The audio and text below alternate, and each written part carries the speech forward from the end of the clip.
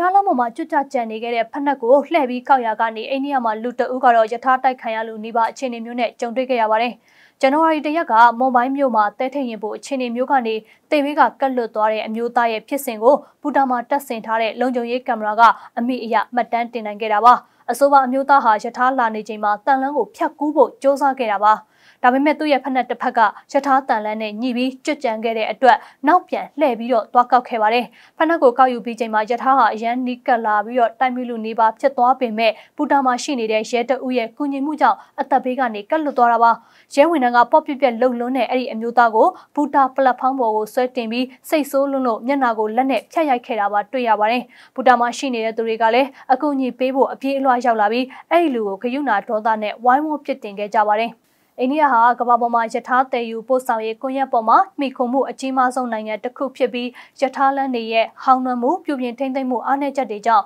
နှစ်စဉ်ယထာမတော်တဆမှုတွေမကြာခဏကြုံတွေ့ရရှိတဲ့နိုင်ငံတစ်ခုလည်းဖြစ်ပါတယ်